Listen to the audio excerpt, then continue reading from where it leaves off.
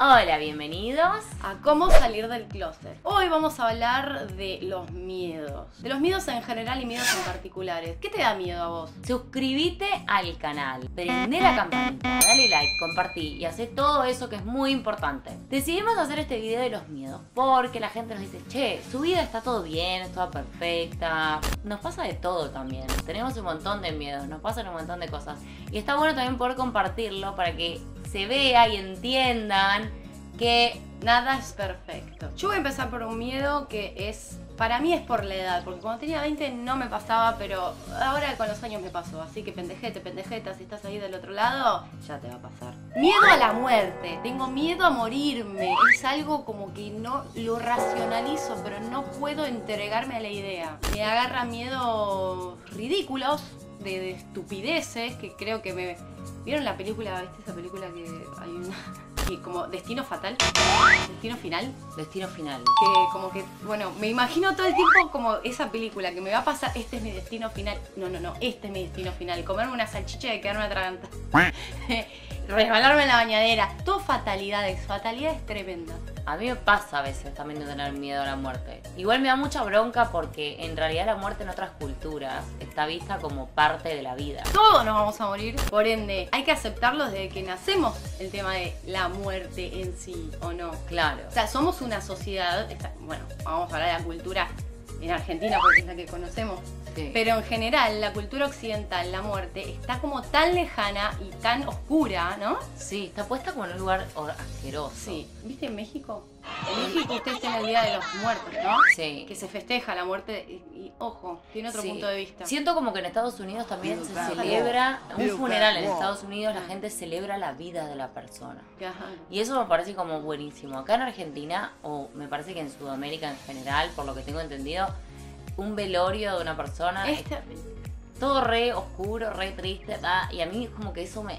es no muy lúgubre, con olor a flores, que de Sí. las flores, terrible. Bueno, Terrible. igualmente, no vamos a entrar Estoy en hablando de esto y me, me siento mal, por ejemplo. Bueno, nada, Bueno, cuestión... ese es un closet. La muerte para mí es un closet. social enorme. Sí. O sea, hay que trabajar sobre La eso. verdad Yo que voy a sí. trabajar sobre eso por lo menos. Yo también tendré que trabajar sobre eso. Porque a mí me gustaría da saber igual sus miedos. ¿Por qué no escriben acá abajo cuáles son sus miedos? Un miedo muy importante.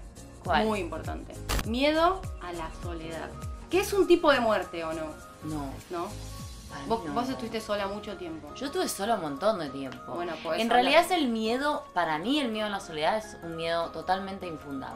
¿Por qué? Porque en realidad... ¿Es en- miedo a qué? En ¿A qué ese miedo, miedo? en ese miedo a estar solo, abandonado, triste, el tema para mí con, el con la soledad viene de que uno no se valora lo suficiente o no se siente lo suficientemente bien consigo mismo como para sentir que su existencia o su validación dependen de una otra persona. Es verdad, es válido, a mí me ha pasado por momentos, pero son los momentos donde yo más insegura estuve o menos valorada me sentí Igual yo te por mí admiro. misma. Te admiro porque lo- el tiempo que has estado sola, yo siempre he estado en pareja porque no me gusta estar sola, lo cual hace que haya tenido pésimas opciones. Pobrecita. Pero es verdad, por eso digo que la soledad, ¿por qué le tenemos miedo a la soledad? Desde mi vivencia es esto también al que dirán, ah, la mina es complicada, no es convivible o qué sé yo, no sé, todo siempre en Sí. negativo, como, ¿por qué? Es como que ponen la imagen de Como la no tía solterona con el gato o lo que fuere, No. que para mí es maravillosa.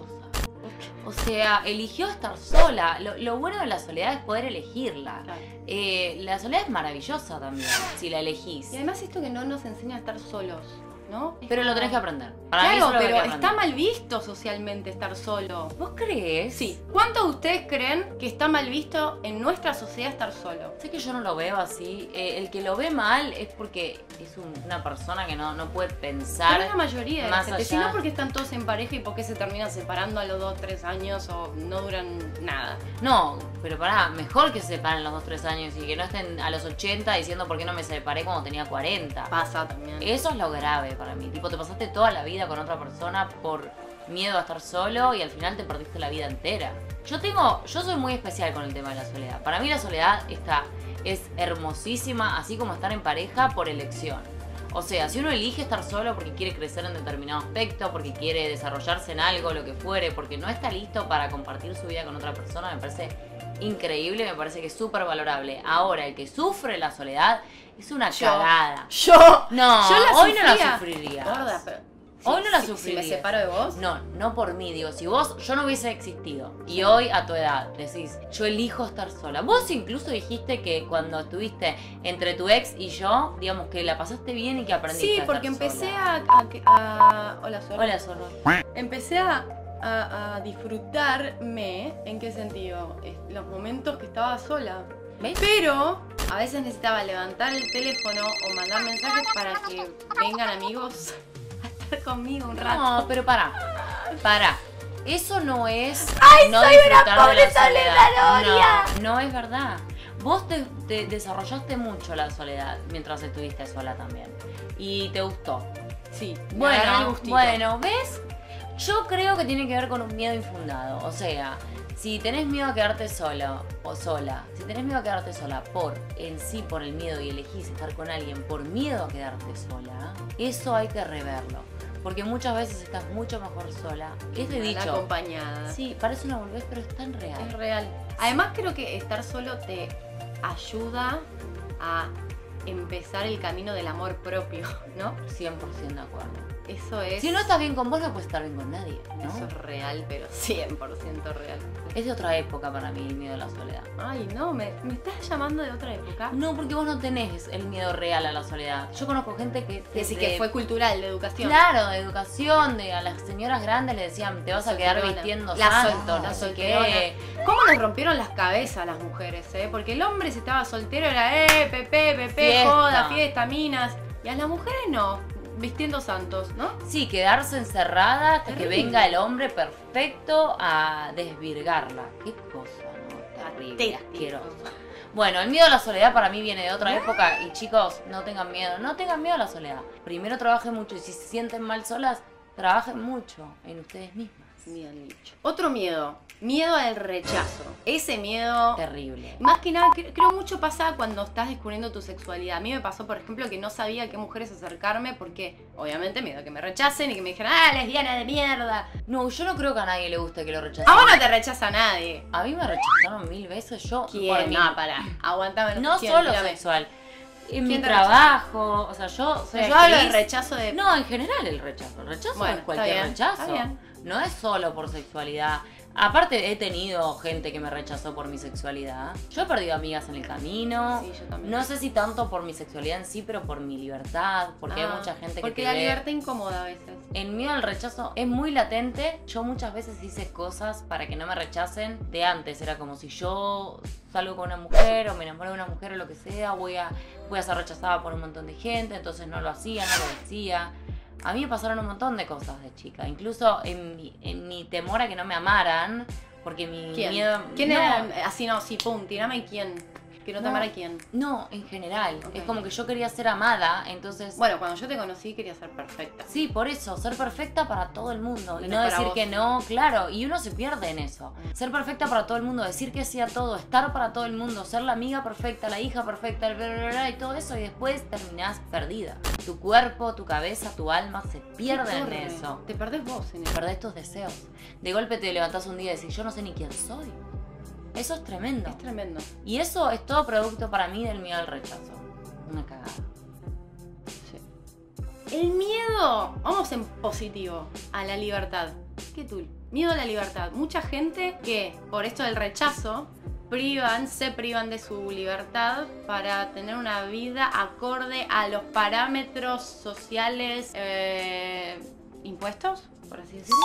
Sí. Y cómo uno pierde su libertad en eso. ¿Qué cosas te privan de la libertad? Es como que también el miedo a la sociedad, al que dirán. Es re loco, pero nos estuvimos preguntando esto, ¿no? De qué cosas, qué es los closets de los que uno Sí. tiene que salir todo el tiempo. O sea, ¿qué te priva de tu libertad? ¿Te lo preguntaste? Los closets de los que uno tiene que salir constantemente, porque está privado de su libertad. Por ejemplo, el tema del cuerpo, que justo Sofi subió una foto el otro día hablando Mm, de eso. En mi Instagram. El tema del cuerpo, como uno muchas veces es preso de la La imagen. imagen. Vaya a saber quién carajo decidió que el cuerpo perfecto era este, ¿no? O El tal, estereotipo el de estereotipo. belleza. Todas Por suerte igual, eh, viste, yo creo mucho también que las marcas tienen mucha influencia en eso y muchas marcas están tomando conciencia de ese poder y están virando y cambiando Sí. bastante, lo cual Ahora- es espectacular. Ahora, ¿viste esto de que la gente por ahí te dice, no, si vos sos perfecta, qué problema puedes tener? O yo con tu cuerpo también estaría contenta, no sé qué, o lo aceptaría. No es así, ¿eh? No es así porque todas las mujeres particularmente, y hay muchos hombres que también, pero me refiero a la mujer en este momento porque soy mujer, no importa cómo seas. Siempre o casi siempre eh, uno tiene que ir deconstruyéndose y, y evolucionando en un montón de aspectos para que la parte física y un montón de cosas dejen de importar. Sin importar el estereotipo con el cual te estés comparando. Es muy difícil, nos enseñan muy feo, eh, o nos enseñaron por lo menos muy feo en algunas cosas del cuerpo y, y hemos estado bombardeados, la sociedad en general estuvo bombardeada por un montón de imágenes que son tan irreales.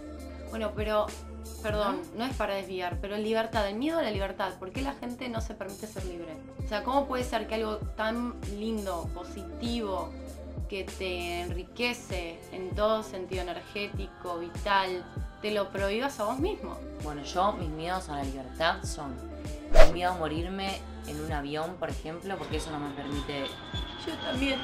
no me permite volar, por lo menos viajamos, pero no Bueno, me permite sí. volar libremente. Yo antes sí, hasta que tuve un momento muy feo y no me recuperé.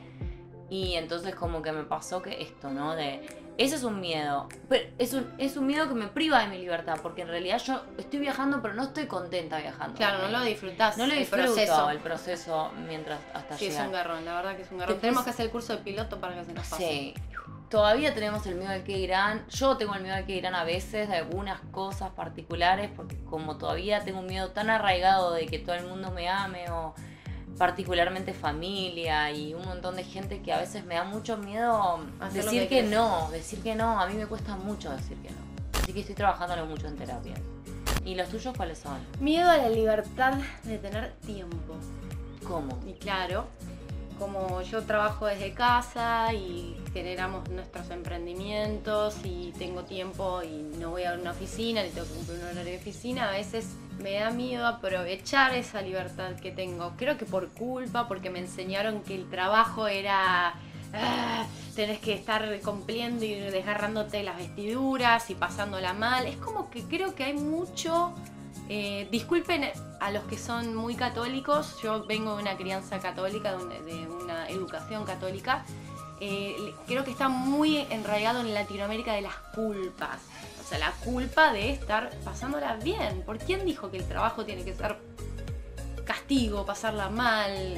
Bueno, a veces hay mucha gente, lamentablemente, que le pasa eso. A mí, bueno, para. Pero no tiene sentido ¿Quién porque no pasó pasamos- por eso? Yo Pero yo también, pero por eso lo digo, porque es lo común eso, no debería ser lo común, lo común y lo bien, debería ser que si vas a estar más tiempo pasándola con gente del trabajo que con tu familia, tengas ese, esa libertad de pasarla bien. Tantas horas metido o metida adentro de donde sea que estés trabajando. No sé, yo creo eso, es mi opinión. Bueno, y me pasa a mí con eso, con, con mi libertad laboral. No la aprovecho. Hay mucha gente por ahí que me dice, ay, qué suerte que tenés, que no tenés, que no estás en la oficina o no sé qué, no estás trabajando. Y muchas veces no, no me relajo, no la paso bien con esa libertad que se supone que está buena. En fin, bueno, si les gustó el video, Pará. Una cosa más. Esto que dijo Sofi de las culpas, hay que plantearlo, porque Sí. cuando uno mm, está por momentos inseguro o lo que fuere, las culpas son terribles. Uf. Es un... Esto lo hablé mucho en las consultinas yo. mm, Las culpas son y en todo, y particularmente eh, en esto, ¿no? De no solo en cómo es uno, en, en- en el qué dirán, el gustarle al otro, el que te quieran, bla, bla, bla, pero, por ejemplo, a mí me costó mucho llegar a liberarme con Sofi por esto de las culpas. ¿en serio? ¿Sí? A mí me costó mucho porque al principio era realmente, o no sé si liberarme con Sofi particularmente, pero liberar mi, mi, mi ser, mi verdadero ser. ¿Tenías miedo? Sí, como que yo era perfecta todo el tiempo, quería ser perfecta todo el tiempo y entonces es como que me costó mucho aceptarme también. Bueno, qué sé yo, si seguimos hablando podemos hablar toda la Sí, vida. sí, sí. Por lo tanto, queríamos decirles que ven, no todo es color de... Rosas, así que... Nos pasa de todo, de todo el todo, tiempo. todo, y charlamos todo el tiempo de estas cosas. Y vamos a terapia y bueno, intentamos evolucionar todos los días. Cuesta. ¿no? Todos tenemos un closet del cual salir, ¿no? Para